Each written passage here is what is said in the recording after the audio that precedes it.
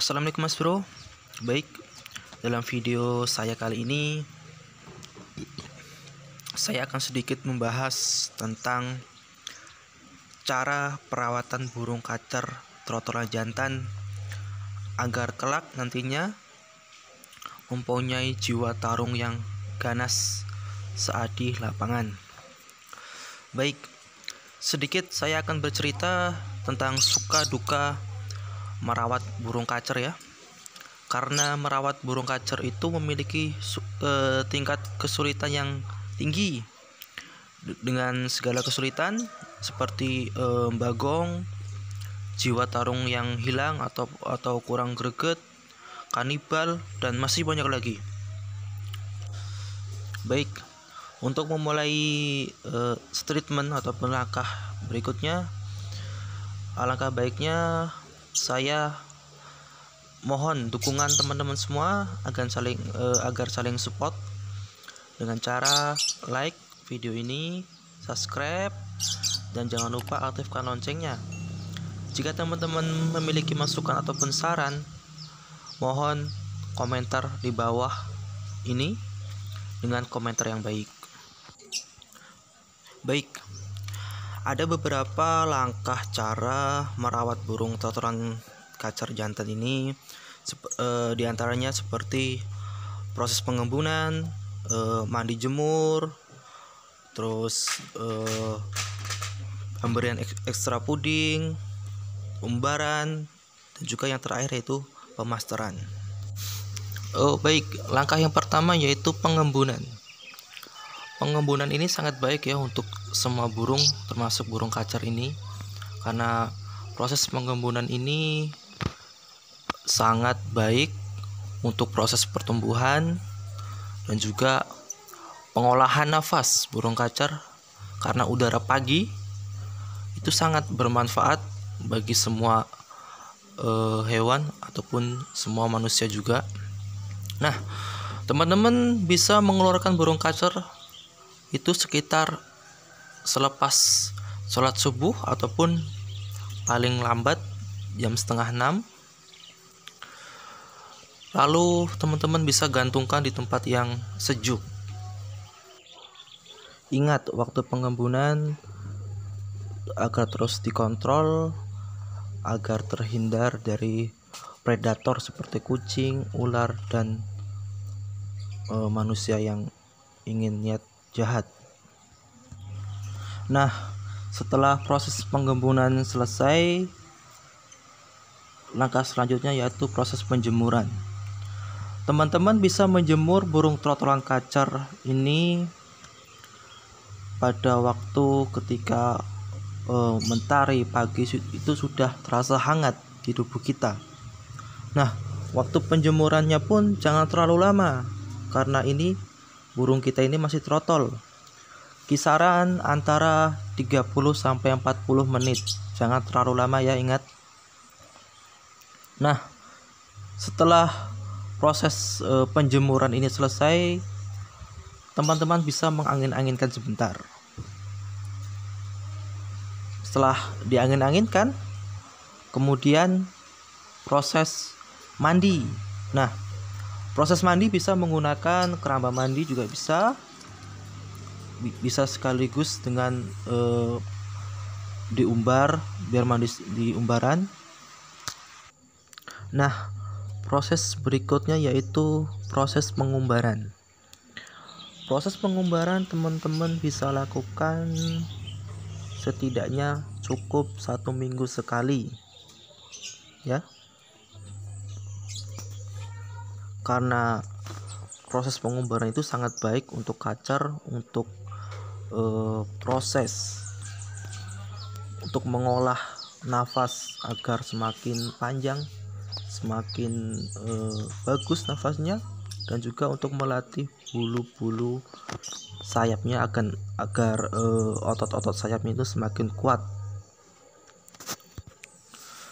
Oke, untuk langkah berikutnya yaitu pemberian ekstra puding ada beberapa pemberian ekstra puding seperti jangkik, kroto, ulet, dan masih banyak lagi. ekstra puding lainnya. Nah, pemberian ekstra puding seperti jangkrik, jangkrik. Pemberian jangkrik untuk untuk trotol ini cukup 55. 5 pagi dan 5 sore. Pemberian jangkrik bisa dilakukan waktu bersamaan dengan proses pengembunan 5 dan juga nanti sorenya lagi 5 lagi. Jadi 55 nah untuk pemberian jangkrik ini diusahakan setiap hari ya. Nah kalau pemberian kroto pemberian kroto ini cukup seminggu dua kali pemberian kroto ini bisa teman-teman lakukan setelah proses mandi selesai. Ketika teman-teman mengangin-anginkan e, biar bulunya kering lalu teman-teman bisa memberikan kroto.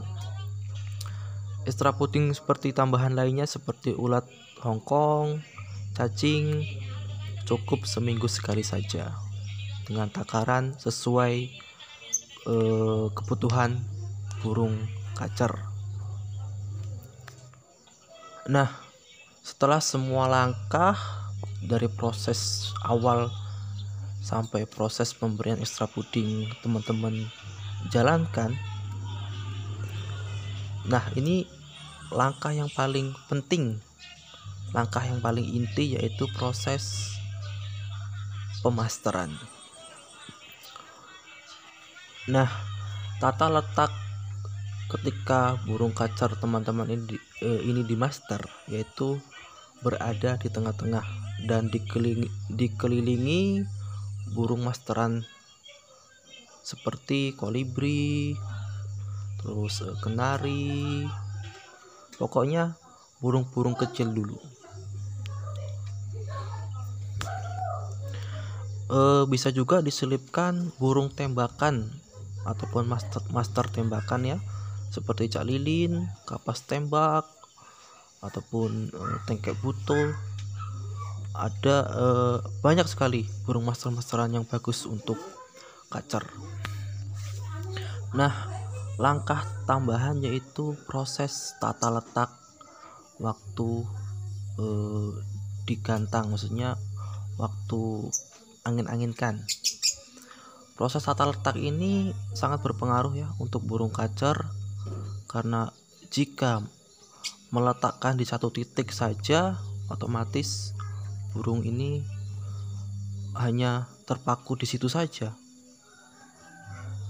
Alangkah baiknya teman-teman bisa merubah tata, uh, lata, uh, tata letak, bisa di depan, besoknya lagi di belakang, besoknya lagi di samping, seperti itu agar burung ini tidak bosan dan juga saat berkicau pun tidak di tempat itu, bisa di mana-mana burung itu bisa berkicau. Nah, itulah langkah demi langkah ya. Cara merawat burung kacer trotolan jantan agar nantinya bisa mempunyai jiwa tarung yang bagus saat di lapangan. Nah, pesan saya untuk teman-teman yang sehobi dengan saya, rawatlah burung kacer dengan tulus, dengan sabar dan telaten Insya Allah jika kita merawat burung itu dengan telaten, tulus, ikhlas, pastinya kita akan uh, memetik hasil yang baik juga. Nah, itulah statement dari saya ya ataupun uh, pengalaman saya tentang merawat burung trotolan ini ya. Nah, bagi teman-teman yang suka video ini mohon didukung ya dengan di like di share dan juga jangan lupa subscribe nya hidupkan tombol tombol loncengnya dan apabila teman-teman ini eh, ingin memberikan kritik ataupun saran mohon tulis di kolom komentar Sekian dari saya. Wassalamualaikum warahmatullahi wabarakatuh.